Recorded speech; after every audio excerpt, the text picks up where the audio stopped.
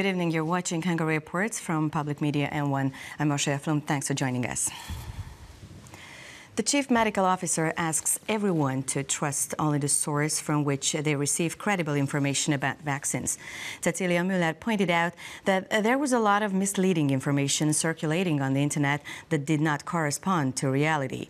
She also emphasized that it was true that the vaccines available had been made using different technologies, but all of them worked properly.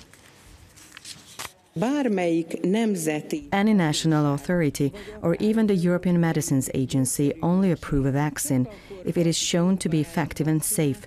This means that being vaccinated results in more significant benefits, in particular when considering that someone without receiving a COVID 19 vaccine may get sick or face the risk of developing serious complications.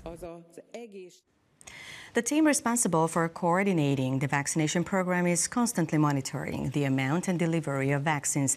György told a press briefing of the operative body responsible for handling the coronavirus epidemic.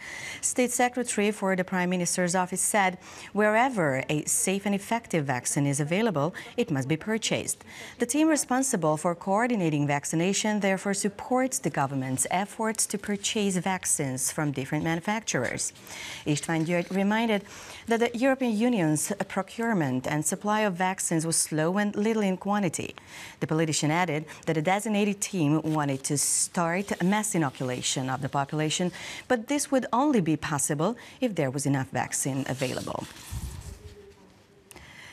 Experts of the National Institute of Pharmacy and Nutrition had positive impressions after conducting a study in China, said Minister of Foreign Affairs and Trade Peter Szijjártó, adding that the experts are carrying out a study in Russia as well, where they monitor the location of vaccine production and the production process and visit the institute where the vaccines are licensed. If they find everything in order, then a decision on the possible authorization of the Sputnik vaccine in Hungary can be expected to be made.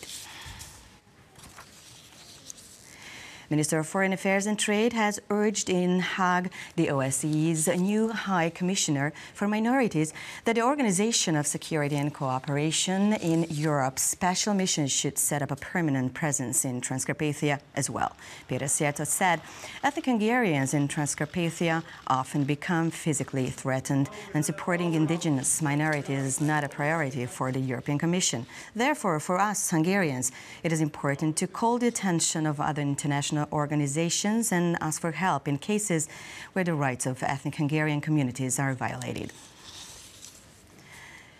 That's all for now, but we'll be back tomorrow night at around the same time, and you can catch Hungary Reports online.